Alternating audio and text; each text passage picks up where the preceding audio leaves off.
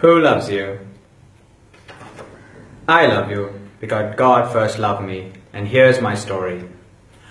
I grew up in a Christian family where I was taught of many Christian morals and scriptures, but I felt that it was not necessary to live an actual Christian life, and my life went on.